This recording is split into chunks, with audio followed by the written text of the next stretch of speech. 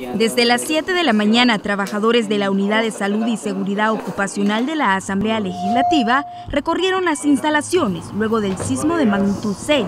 En cada planta del edificio se verificó si habían daños y estos fueron los resultados. Y solo hemos encontrado hasta el momento eh, desprendimiento de material suelto, eh, más que todo en la zona de, la, de, las gradas que van de la primera hasta la octava, al octavo nivel. Eh, hemos inhabilitado el, ascensor que está en el edificio de comisiones, porque hemos encontrado que hay un pequeño desnivel y estamos esperando que venga la empresa contratada para hacer, hacer la respectiva revisión. de ahí solo han habido desprendimiento de materiales, han habido algunos desprendimientos de cielo falso en algunos niveles, como el segundo o tercer nivel, y pues hasta ahorita no hemos encontrado mayor indicio sobre algún otro daño de consideración. El presidente del primer órgano del Estado considera preocupante la vulnerabilidad de este edificio ante los sismos.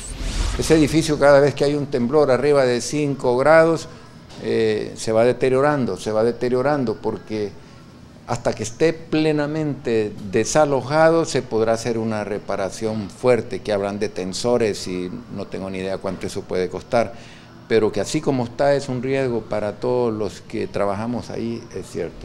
Diputados y empleados de la Asamblea Legislativa se presentaron a sus labores con normalidad, Debido a los anteriores movimientos telúricos, de estas instalaciones se ha evacuado el 80% del personal. Eso yo creo que el edificio pues todavía aguanta. He escuchado comentarios eh, al aire pues de que las estructuras están bien, que son cuestiones más cosméticas, que son eh, algunas cuestiones más superficiales las que habría que, poder remodelar en algún momento, pero es Junta Directiva quien tiene datos certeros y habría que ver si realmente es competente eh, un nuevo edificio, si es necesario construir un nuevo edificio o si este puede remodelarse. Ya sufrimos anoche un nuevo temblor y hemos visto que pues por lo menos las estructuras hasta ahora aguantan. Gracias a Dios que el edificio ya está evacuado casi en un 80%, entonces eso también nos, nos, ayuda a estabilizar un poco la, la, situación. El órgano legislativo acordó en diciembre de 2015 el contrato de préstamo con el Banco Centroamericano de Integración Económica por 32 millones de dólares para la construcción de un nuevo edificio. Para el noticiero, Silvia Hernández.